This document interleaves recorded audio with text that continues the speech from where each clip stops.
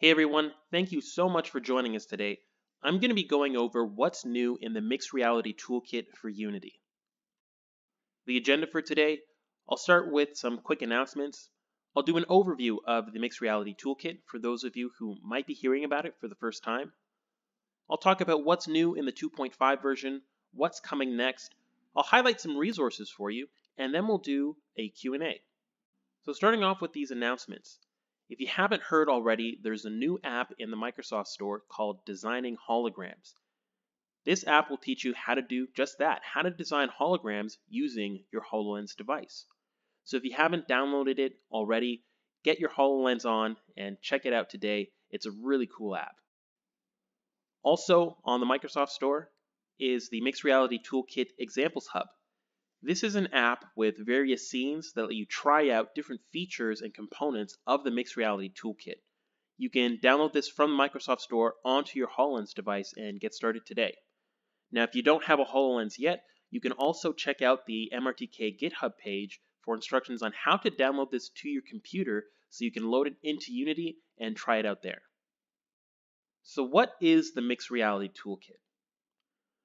Well, MRTK for Unity is a Microsoft-driven project that provides a set of components and features used to accelerate cross-platform mixed reality app development in Unity.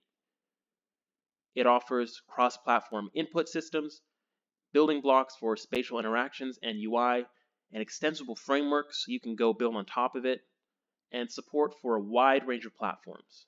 You know, there's Microsoft HoloLens, HoloLens 2, Windows Mixed Reality headsets, open VR headsets such as the HTC Vive and the Oculus Rift, ultra-leap hand tracking, and mobile devices such as iOS and Android. And now, as of version 2.5, we also support the Oculus Quest. So what's new in MRTK 2.5? Starting with version 2.5, the MRTK is available using the Unity Package Manager, or UPM for short on Unity version 2019.4 and newer. We heard from you, our community, that you wanted a better way to discover and acquire MRTK packages. Now today there are some manual steps required to get started, but once a Mixed Reality Toolkit package has been added to your manifest file, you can manage the MRTK using the UPM interface. The scrolling object collection has graduated from an experimental feature to a full feature and offers more freedom for laying out 3D content of different sizes with added support for objects that have no colliders attached. A new option for disabling content masking was also added, making prototyping even easier. The scrolling object collection can be combined with a grid object collection to lay out content in a grid of aligned elements that have uniform size and spacing. When it comes to input simulation, you can now use your mouse to simulate eye tracking you can also simulate motion controllers just like you can simulate hands in the Unity Editor Play mode. The trigger, grab, and menu buttons are currently supported. If you're using the hand interaction example in the MRTK Examples Hub I mentioned earlier, there is now a configurable shortcut to show a help page for input simulation when you're using it on a computer. There is now a package that contains the play mode and test mode test infrastructure that the MRTK team uses to create our own end-to-end tests.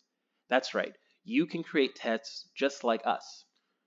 This infrastructure has been extremely handy for the MRTK team, and we're excited to have folks like yourselves use it to add test coverage to your own projects. Now you can check out our guidelines on the MRTK GitHub for how to write and run tests in MRTK. Bounds control is another feature that graduated from experimental to a full feature. It has a bunch of bug fixes and updates, things such as properties now being split into configurations, which make it easier to set up bounds. Configurations can be shared through scriptable objects. Every property and scriptable property is runtime configurable. The bounds control rig isn't recreated on property changes anymore. There is support for translation handles. There is full constraint support through the Constraint Manager. And there's also support for the Elastic System Manager. The old bounding box is now deprecated, and existing game objects using bounding box can be upgraded using the migration tool or through the bounding box inspector. Constraints can now be used by both bounds control and object manipulator via this new component, the constraint manager. Now, if you remember in MRTK 2.4, we introduced the object manipulator to replace the manipulation handler. Now, this feature is actually one of my favorites out of MRTK 2.5, the elastic systems. It's still experimental, however, out of the box it supports bounds control and object manipulator. I'm excited to see what new ways you can introduce some elastic simulation systems into your projects. Continuing on with experimental features, there's the joystick. This is a feature that allows you to control a large object at a distance using a holographic joystick. The example in the examples hub shows you how to move, scale, and rotate a large object at a distance. Then there's the color picker. This is a new way to quickly change material colors at runtime using this simple interface. And then there's the Oculus Quest.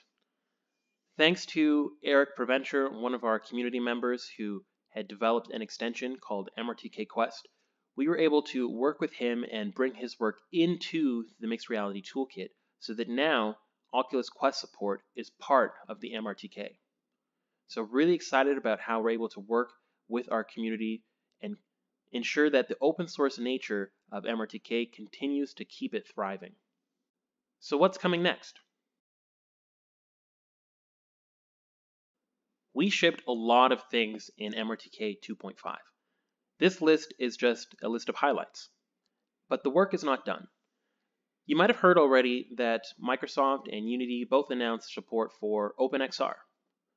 The MRTK team is working hard to make sure that OpenXR just works for you. We're also working on improvements to our packaging story. We've heard feedback that some of our UX components in the toolkit have very complex hierarchies, and so we're working on making things easier to use for you. And then we're also working on our developer education, trying to make it easier for you to get the most out of the toolkit. If you want to learn more, here are some resources for you to check out. MRTK GitHub. That's where you can give us feedback. We always love to hear from our community. Whether it's a bug or a feature request, we want to hear from you. There are MRTK tutorials available so you can get started quickly with MRTK for Unity. Check out our MRTK 2.5.1 release notes so you can see what's new in the latest update. And then there's the MRTK architecture overview. Thank you so much for joining. Let's jump into the Q&A.